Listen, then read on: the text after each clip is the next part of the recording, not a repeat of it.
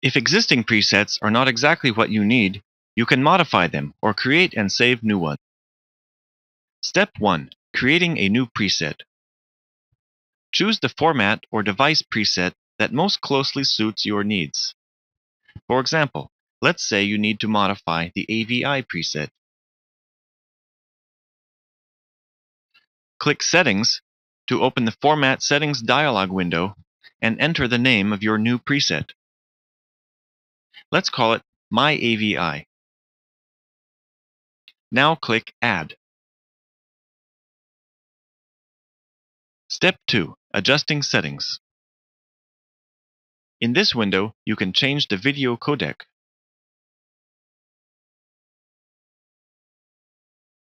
You can also change the video codec options. Here we have H264. It has several profiles with different values, baseline, main, and high. You can choose any of them. If you uncheck Enable Auto Bitrate Adjustment, you can change the bitrate. The higher the bitrate you choose, the better the quality you get but there is no advantage to setting the bitrate higher than the original video. Then you can choose a quality level from optimal to highest. Change aspect ratio. Aspect ratio depends on the original video and on the device for which we convert. 4 to 3 is used for TV shows, and 16 to 9 is used for movies. You can change the max I-frame interval. Frames are coded without reference to any frame except themselves. This interval is the distance between these single frames. The larger the distance you make, the worse the quality you get. Change the B-frame sequence. It defines how many B-frames are used between I-frames. It's useful if you have many static, not dynamic scenes. It can increase the quality of the video.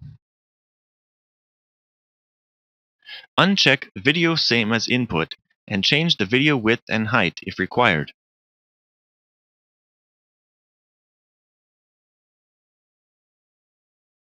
Change frame rate. This is the frequency at which an imaging device produces frames. It's usually 25, but sometimes you need 30. Resize method.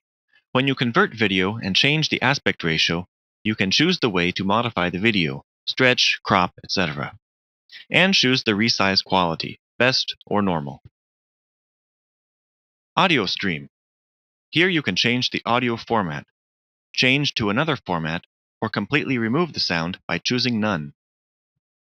Change the parameters for each format by clicking Options.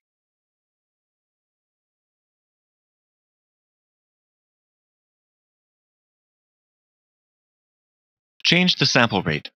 The higher the sample rate you choose, the better the sound quality you get. Finally, choose mono or stereo.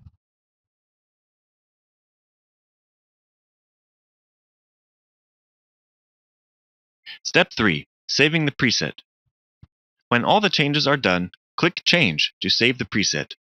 After saving, you can choose it from the preset list.